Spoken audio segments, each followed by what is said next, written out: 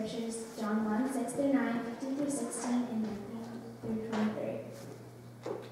There came a man who was sent from God. His name was John. He came as a witness to testify concerning that light, so that through him all men might believe. He himself was not the light. He came only as a witness to the light. The true light that gives light to every man was coming into the world. John testifies concerning him. He cries out, saying, This was he whom I said, He who comes after me has surpassed me, because he was before me. From the fulfillment of his grace, we have all received one blessing after another. Now this was John's testimony when the Jews of Jerusalem sent priests and, Le- and Le- uh, Levites to ask him who he was. He did not fail to confess, but confessed freely, I am not the Christ. They asked him, Then who are you? Are you Elijah? He said, I am not. Are you the prophet? He answered, No.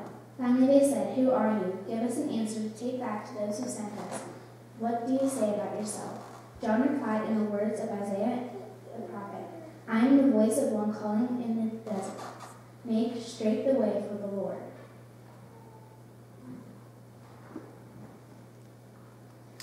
Jesus is Christ, period.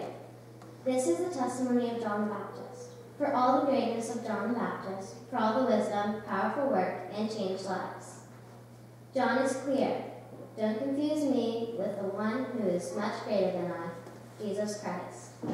Like John, who believe, we who believe are to live our lives so that all we do will point others to Christ.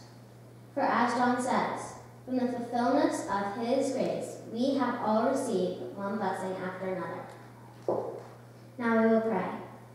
Dear Lord Jesus, we pray that you give us the insight to follow the example of John the Baptist and place your, you before all others in our life.